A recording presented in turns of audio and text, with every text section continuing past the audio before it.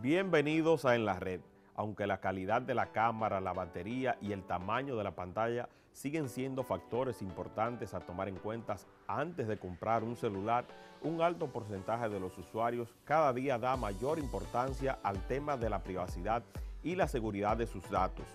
Pensando en ellos, un reportero de Forbes realizó un análisis llegando a una conclusión de que el iPhone X posee un sistema de reconocimiento facial, el cual no puede ser engañado ni con un rostro del propietario del teléfono impreso en tercera dimensión.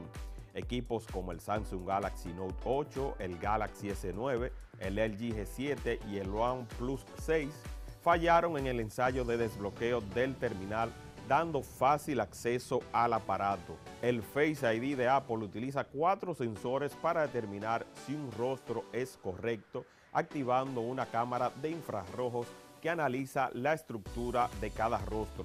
A falta de un efectivo sistema de seguridad facial, muchos fabricantes de teléfonos siguen apoyándose en la huella dactilar como una buena alternativa.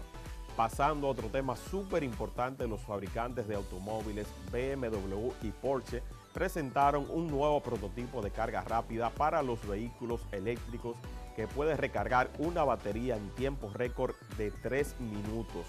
Con dicha carga se pueden recorrer unos 100 kilómetros, disminuyendo de forma significativa el tiempo de espera para el abastecimiento. Este sistema de carga es tres veces superior a los cargadores que tiene Tesla. El prototipo de carga rápida se encuentra en Alemania y pudiera pasar allí un buen tiempo hasta que esta nueva tecnología logre expandirse de una manera más amplia. Y para cerrar con broche de oro por este martes, les voy a recomendar una aplicación muy buena. Se llama Multichat. Es gratis y está disponible en el sistema operativo de Android. Multichat le permite en un mismo teléfono utilizar de forma paralela más de dos cuentas distintas de WhatsApp, dos cuentas de Instagram, Facebook o Twitter. Recuerden el nombre, Multichat.